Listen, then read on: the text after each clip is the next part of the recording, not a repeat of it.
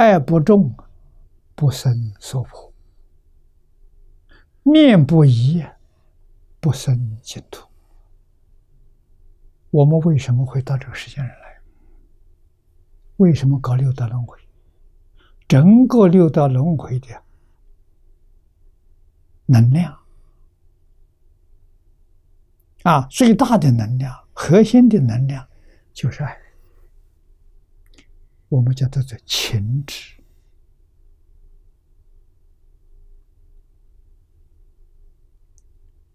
是这样来的啊。他才找身体啊，应有幻身啊，幻身就是物质，这个身体是物质啊，这个爱的念头去找身体。那么佛经上跟我们说的很清楚，找身体是有缘跟没有缘，没有缘你看不见，有缘就看见。啊，是四种缘。到你家来了。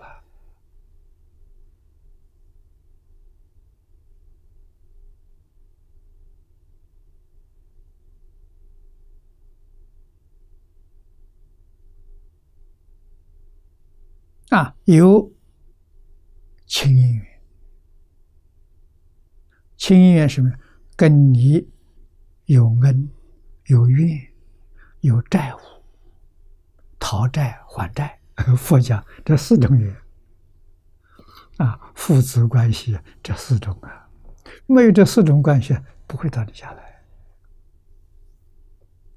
啊。那么人与人之间去通通这四种缘啊，只要你跟他认识，决定是有这四种关系。没有这四种关系，对面不是不相识啊。啊，跟你这有关系了，决定过去生中有这四样关系。啊，如果是报恩的，孝子贤孙，啊，他来就好，就听话，孩子就乖，啊，好养。啊，来报怨的呢，小时候也讨你欢喜，长大之后背你。叫你伤心，叫你难过，啊，重一点的时候会搞你家破人亡。你过去叫他家破人亡，他今天来要叫你家破人亡，啊，你欠他债的，他来讨债，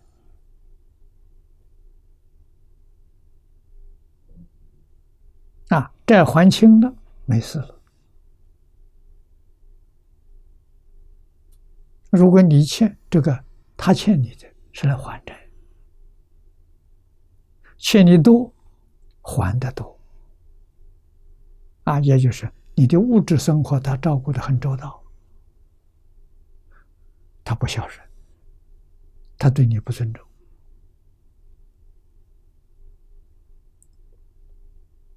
啊，那么欠的少的，他就还的少，还的少是。你生活很辛苦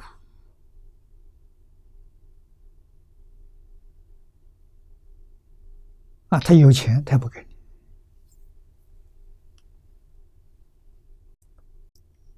报恩报怨、讨债还债，怎么个关系啊！所以我们跟这个世界说穿了，佛是讲穿了。冤冤相报，没完没了，而且生生世世纠缠不清。你说这个事情多麻烦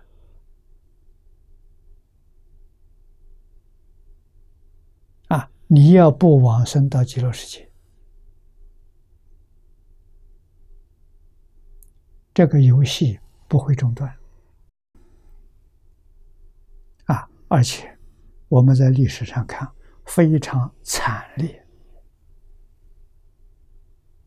啊！他报不是报的恰好，他做的太过分，太过分是来生的时候你再报复他，比他又过分。啊，到最后演变什么？演变战争。啊，那就伤及无辜，这无辜跟你又发生了关系。所以想到这些地方的时候，六道里都不能住啊！啊，能不能超越呢？遇到净土就遇到超越的方法，决定不能再干了。啊，真正觉悟了，啊，觉悟之后要忏悔，忏悔搞真的，不是搞假的。头一个决定不跟人结怨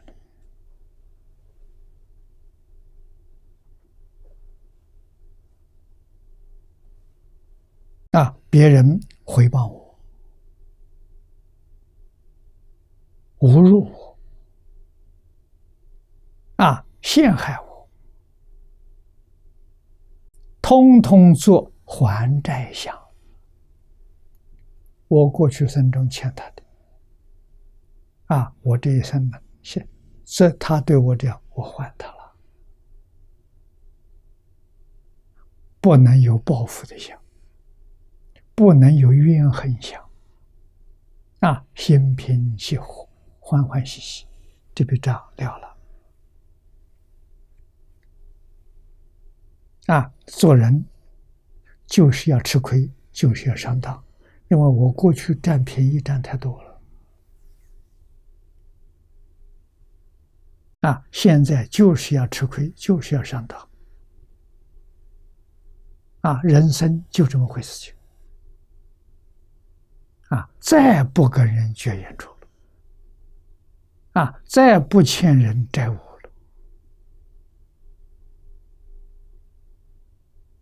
啊，一切都做还债相。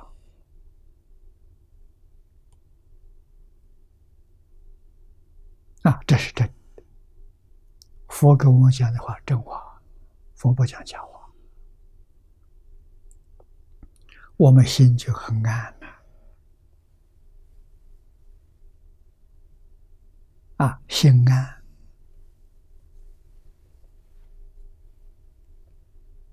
心定，就生智慧。啊，对佛感恩。对众生感恩的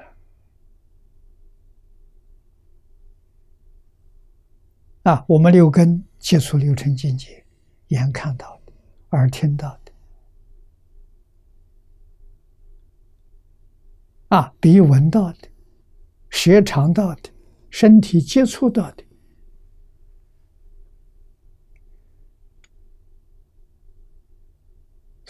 看破放下。就在其中，